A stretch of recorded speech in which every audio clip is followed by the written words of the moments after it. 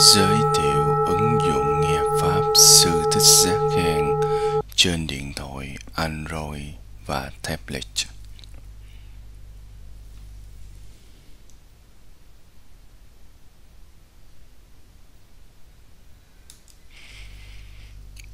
Nam mô Bổn sư Thích Ca Mâu Ni Phật.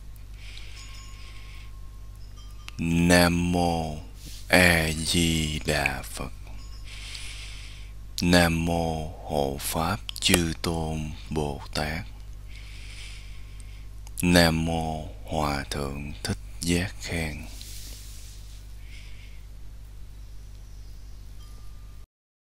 Bây giờ mình sẽ hướng dẫn cho các bạn cách tải ứng dụng Pháp âm sư Khang về điện thoại, sử dụng hệ điều hành Android như Samsung, Sony để nghe Pháp của sư ông Giác Khang ha. Cái ứng dụng này có một số điểm rất hay. Thứ nhất, dung lượng ứng dụng thấp, chỉ có 13 mê thôi cho nên chạy rất nhanh, thích hợp với tất cả các cấu hình điện thoại từ thấp đến cao. Thứ hai là các file khi download xong rồi á thì nó sẽ nằm ở bộ nhớ tạm của ứng dụng mà không ảnh hưởng đến dung lượng lưu trữ của điện thoại. Thứ ba, khi file đã được lấy về trên ứng dụng, các bạn có thể xem mà không bị phụ thuộc vào mạng wifi, mạng 4G. Chẳng hạn như nhiều khi các bạn đi máy bay, thời gian dài phải để điện thoại ở chế độ máy bay á, thì các bạn vẫn có thể mở các bài pháp đã tải về trên ứng dụng mà tĩnh tâm nghe, học pháp. Và một điều rất hay nữa là các bạn có thể mở một bài giảng, sau đó tắt màn hình điện thoại, vẫn có thể nghe được. Ứng dụng vẫn có thể chạy trên màn hình nền nha các bạn.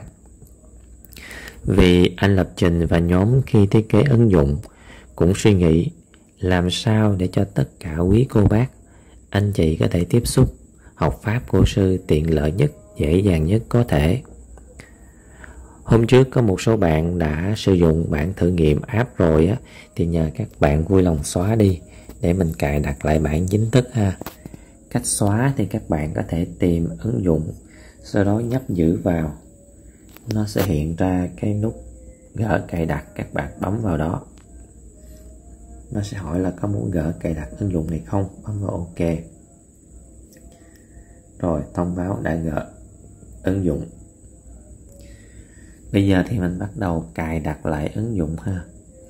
Các bạn tìm đến cái menu cửa hàng play cái ứng dụng cửa hàng play.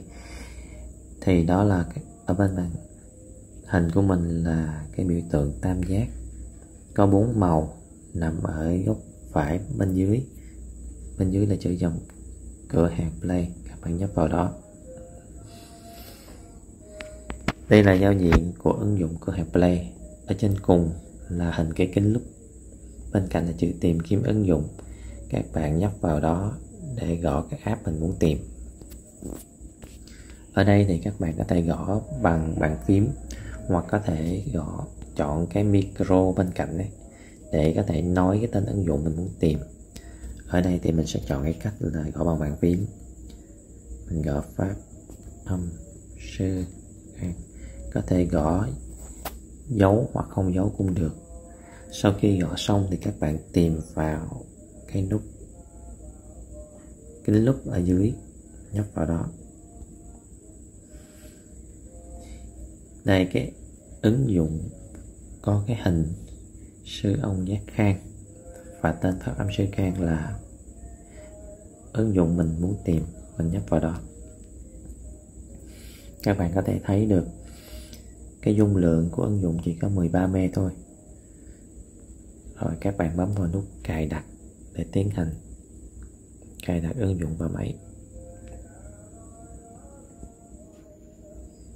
Rồi rất là nhanh. Sau khi cài đặt xong á, thì các bạn có thể nhấp vào cái nút mở để vào ứng dụng hoặc các bạn có thể ra cái màn hình chính của mình bằng cách nhấp vào cái hình ở dưới cùng cái hình vuông dưới cùng để ra màn hình chính. Thì ở đây cũng sẽ tạo ra một cái ứng dụng pháp âm sư khang các bạn có thể nhấp vào cái biểu tượng này để vào ứng dụng. Rồi bây giờ mình cùng xem qua cái ứng dụng này có những cái gì hay ha. Thứ nhất là các bạn có thể nhìn thấy cái tông màu ứng dụng và cái hình của sư khang tạo cho chúng ta một cái cảm giác là gần gũi ấm cúng, thân thương. Ở góc bên phải trên cùng có hình một cái phần trăng khuyết. Cái này là cái biểu tượng để chúng ta có thể thay đổi chế độ xem buổi sáng hoặc buổi tối. Đây các bạn nhấp vào sẽ thấy. Đây, sáng hoặc tối. Rồi mình chọn là chế độ ban ngày để sáng để xem cho nó dễ ha. Bên góc trái là có ba dấu gạch là đường dẫn liên kết đến các website, các facebook để có thể lấy các tài liệu viết tay của pháp sư khang hoặc là có thể vào facebook để cùng trao đổi thảo luận về phật pháp. Ở đây các bạn sẽ tìm hiểu cái pháp này sau ha.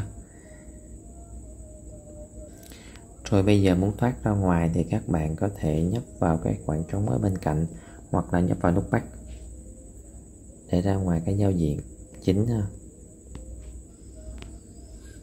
thì các bài pháp ở đây được tập hợp thành 19 nhóm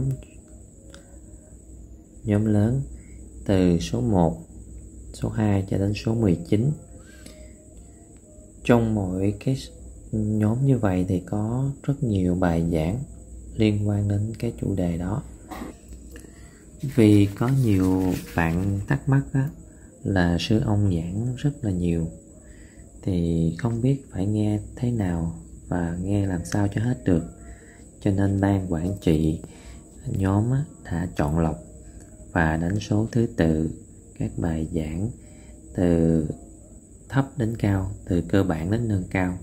Thì từ cái số 1 là pháp môn tịnh độ cho đến cái số 19 là các bài pháp dự lưu là cái mục đích tu cuối cùng của chúng ta. Rồi bây giờ mình sẽ hướng dẫn các bạn nghe ha. Bây giờ mình chọn vào cái mục số 1 đi, là các bài giảng tịnh độ. Thì các bạn thấy trước tiên là ở trên đầu là cái tên của cái bài giảng đó.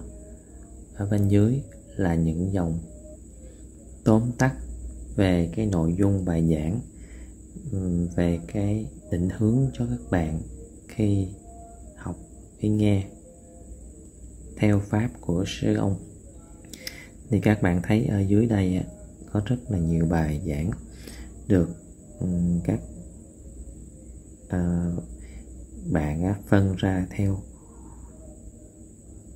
từ thấp đến cao, từ phần nhỏ tới phần lớn đó rất nhiều bài. Rồi bây giờ mình sẽ hướng dẫn cho các bạn nghe ha. Thì có hai cái cách nghe. Có, có nghĩa là các bạn có thể nghe theo cái cách nghe trực tiếp luôn. Thì các bạn sẽ thấy ở bên góc phải của mỗi một cái file nó có một cái biểu tượng tròn có hình tam giác trong đó. Đó là biểu tượng của play là chạy cái file đó. Thì các bạn nhấp vào. Khi các bạn nhấp vào đó thì ở bên dưới nó sẽ hiện ra một cái cửa sổ. Các bạn nhấp vào cửa sổ này để mở rộng cái file đang muốn chạy. Đây là cái giao diện chính để chạy một cái file. Thì các bạn có thể thấy là ở trên là cái thời lượng của cái file đó là bao nhiêu lâu còn ở dưới khi các bạn muốn chạy file hoặc muốn ngưng cái file thì các bạn bấm vào cái biểu tượng dấu tam giác. Ở đây mình bấm thử nha. À, các bạn có thể nghe được. Bấm dừng.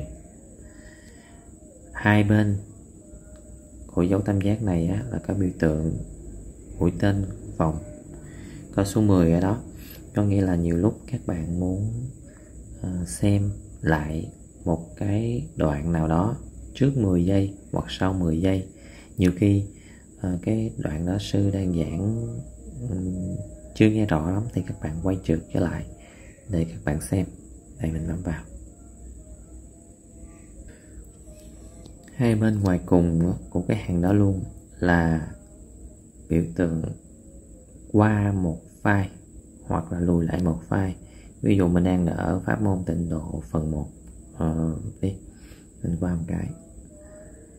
Sẽ ra cái phần tiếp theo. Rồi các bạn muốn nghe nhanh hoặc nghe chậm thì các bạn có thể chọn vào cái số là 1.x này. Để mỗi lần nhấp á, thì nó sẽ thay đổi một chế độ nghe. Ví dụ các bạn đang ở 1.0 các bạn nhấp vào nó sẽ là 1.25 là nhanh hơn. 1.5 là nhanh hơn gấp rưỡi. Và tiếp tiếp tiếp lần nữa đây sẽ là 0.75 là chế độ nghe chậm hơn. Và một lần nữa thì nó sẽ trở lại chế độ nghe bình thường. Rồi bây giờ có những trường hợp như các bạn muốn nghe cái thời gian của nó uh, cố định à, muốn cài đặt cái thời gian nghe thì các bạn có thể chọn vào cái hình báo thức ở đây. Rồi sau đó các bạn có thể chọn nghe cái đó trong 10 phút rồi hoặc 15 phút gì đó. Khi không muốn cài đặt cái chế độ đó thì các bạn nhấp vào.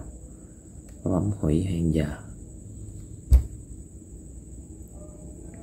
Rồi trường hợp như một cái file nào đó, các bạn thấy nó hay quá, muốn nghe đi, nghe lại, thì các bạn có thể nhấp vào cái biểu tượng hai mũi tên ngược chiều nhau như vậy. Nhấp như vậy có nghĩa là nó sẽ lặp đi lặp lại nhiều lần, liên, nhiều nhiều lần luôn nhấp một lần nữa, nó có số 1 ở trong. Có nghĩa là sẽ lặp lại thêm một lần nữa. Nhấp một lần nữa là ngắt đi, không lặp lại nữa. Rồi ha, bây giờ đó là cách xem mà trực tiếp. Bây giờ mình sẽ xem cái cách mà khi không có mạng ở chế độ máy bay thì sao ha? Bây giờ các bạn quay trở lại cái màn hình chính hồi nãy. Các bạn bấm vào nút back này thì các bạn có thể thấy ở cái bên tay trái góc trái của một cái file nó có một cái mũi tên đi xuống có dấu gạch gạch chân ở dưới. Các bạn nhấp vào đó để tải cái file đó về trên cái à, bộ nhớ đệm của ứng dụng.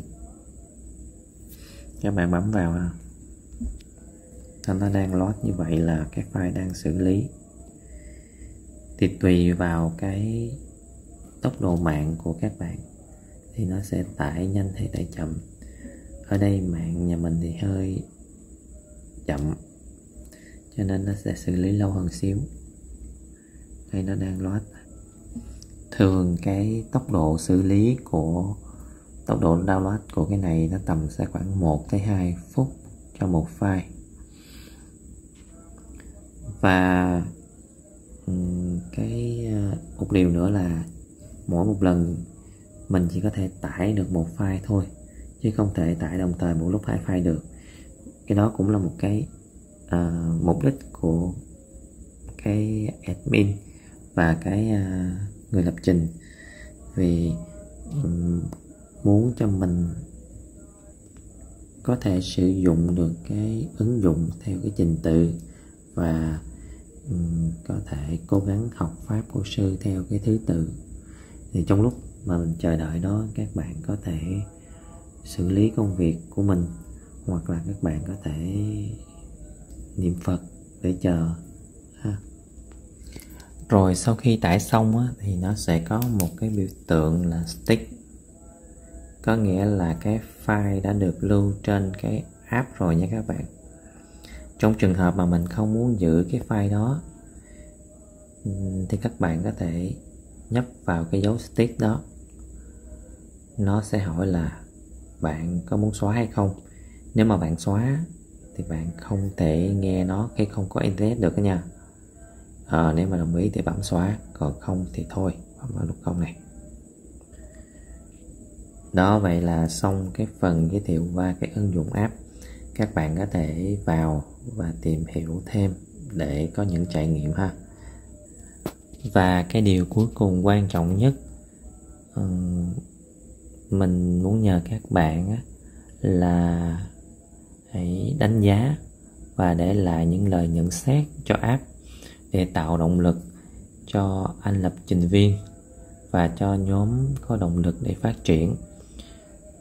Và cho cái ứng dụng này ngày càng phổ biến trên hệ điều hành Android để nhiều người biết tới và tiếp cận với pháp của sư ông mọi lúc mọi nơi. Việc đánh giá này, nhận xét này cũng không có yêu cầu bất cứ cái thông tin cá nhân nào của các bạn hết á, cho nên cứ yên tâm ha. Và để làm được điều đó thì các bạn vui lòng quay lại cái cửa hàng play hồi nãy chỗ mình tải ứng dụng á mình nhìn mình tìm vào đó thì mình thấy kéo xuống dưới ừ, kéo xuống dưới đó ở đó đến cái mục mà phản hồi riêng cho nhà phát triển. Ở bên dưới đó nó có năm cái mũi ngôi sao. Các bạn hãy chọn vô cái sao thứ năm ha. Ở phải là ở chế độ đánh giá tốt nhất. Sau đó các bạn hãy à, ghi vô những cái trải nghiệm của mình. Ở đây mình có thể ghi một vài một vài à, tuyệt vời sau đó thì các bạn bấm vào nút đăng ở góc phải trên cùng. Cái đăng cái lời nhận xét của mình, bấm vào hoàn tất. Rồi, vậy là xong rồi. Xin cảm ơn các bạn rất nhiều. Và sau đây là lời cảm ơn để làm được cái app này trên um, Android và iOS thì chúng tôi rất chân thành cảm ơn bạn lập trình viên ở Huawei đã giúp thiết kế và lập trình app trên Android và iOS. Bạn đã dành những đêm thức trắng để cập nhật với những cập nhật mới của Apple Store và Google và cùng làm việc với nhóm để đưa ra cái app sớm nhất cho đại chúng. Xin tán thán công đức của bạn. Và chúng tôi cũng xin cảm ơn các bạn cộng tác viên của nhóm Pháp âm Sư Khen đã tình nguyện hỗ trợ kiểm tra test app và đóng góp ý kiến để cho app càng ngày càng hoàn thiện. Và một lần nữa chúng tôi cũng cảm ơn bạn designer giấu tên giúp cho chúng tôi thiết kế cái logo cho app, cho website và cho cả nhóm Pháp âm Sư Khen. Và cuối cùng chúng tôi rất là cảm ơn tất cả mọi người trên thế giới đã ủng hộ nhóm trong 12 năm qua.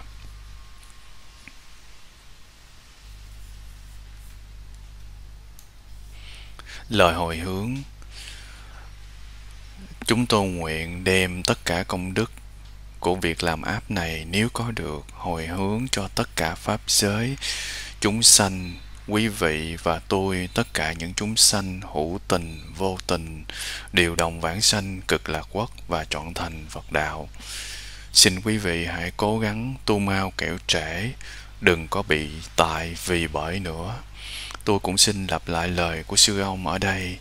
Quý ông, quý bà, kính tôi là phải giữ năm giới, tám giới, ăn chay, học giáo lý, niệm phật nhất niệm và phát nguyện bản sanh tôi về trước trên đó mà sau này không thấy quý ông, quý bà là tôi về tôi kiếm quý ông, quý bà. Để chi biết không? Để nhận nước gì quá làm biến nam mô a di đà phật. Xin cảm ơn thiện giác xin kính bút, Florida, ngày 10 tháng 5 2024 A Di Đà Phật.